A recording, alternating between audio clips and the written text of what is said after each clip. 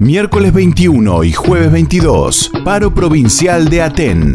Miércoles 21, gran marcha en defensa de la educación pública. Marchamos por nuestro salario, por presupuesto educativo. Organizate con tu escuela. Concentramos 9.30 en la entrada del aeropuerto sobre Ruta 22. Aten, el sindicato de las y los trabajadores de la educación.